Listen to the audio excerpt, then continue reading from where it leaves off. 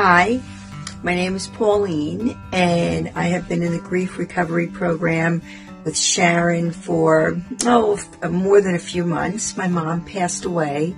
Actually, would be a year this coming May 24th, and I thought I was doing okay.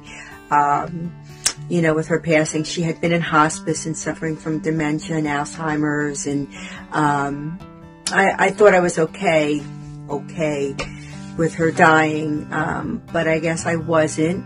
And I reached out to the VNA, and Sharon had called me to kind of talk to me on the phone, and we set up a face-to-face meeting. And um, she has helped me tremendously. She continues to help me.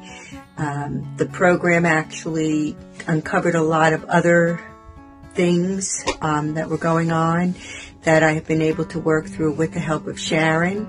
And it's a wonderful program. If you need it, it's out there. And um, I'm still not done with the program completely because of this pandemic that's going on. But Sharon continues to be a, a support for me. And um, that's about it. Hope all is well. Bye.